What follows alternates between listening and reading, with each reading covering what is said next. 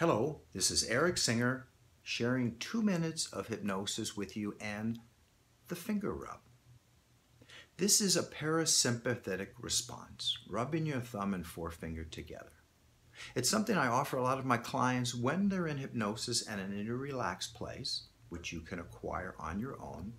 Rubbing your thumb and forefinger together creates a parasympathetic response.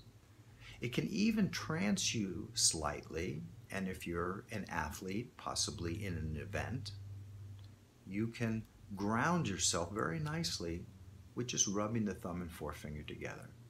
So the next time before going to bed, or in your very relaxed and calm place, or even sitting there by the lake or by the ocean, allow your thumb and forefinger just to slightly rub together. Take in the air around you and feel the calmness of this and use this tool at times of tension, maybe when you're taking a test or you have a speech to do.